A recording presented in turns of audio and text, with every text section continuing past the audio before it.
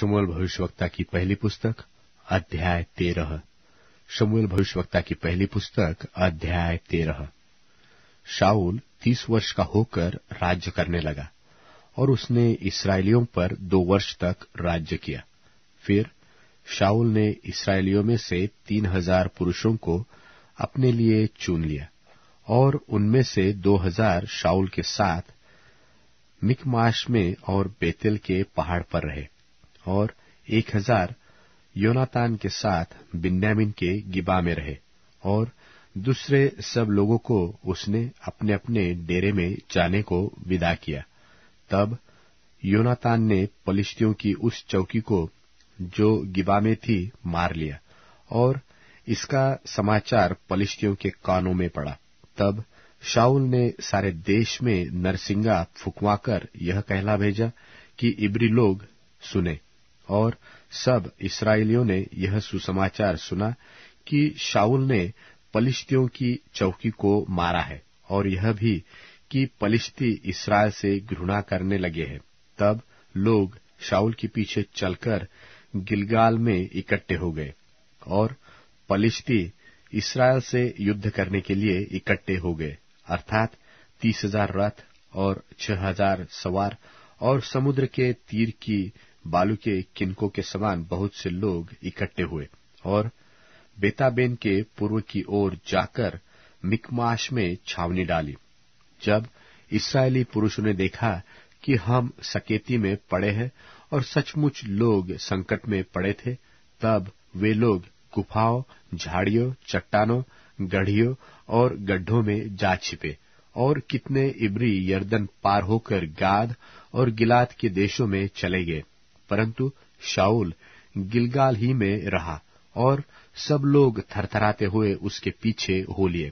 वह शमुएल के ठहराए हुए समय अर्थात सात दिन तक बाट जोहता रहा, परंतु शमुएल गिलगाल में न आया और लोग उसके पास से इधर उधर होने लगे।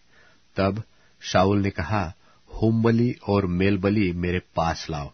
तब उसने होमबली को चढ़ाया। जो ही वह होमबली को चढ़ा चुका तो क्या देखता है कि शमुएल आ पहुँचा और शाउल उससे मिलने और नमस्कार करने को निकला। शमुएल ने पूछा, तूने क्या किया? शाउल ने कहा, जब मैंने देखा कि लोग मेरे पास से इधर उधर हो चले हैं और तू ठहराए हुए दिनों के भीतर नहीं आया और पलिश्ती मिकमाश में इकट्ठे हुए हैं, तब मैंने सोचा कि पलिश्ती गिलगाल में मुझ पर कभी आ पड़ेंगे और मैंने यहोवा से विनती भी नहीं की है। सो, मैंने अपनी इच्छा न रहते भी होम बलि चढ़ाया शमुएल ने शावुल से कहा, तूने मूर्खता का काम किया है।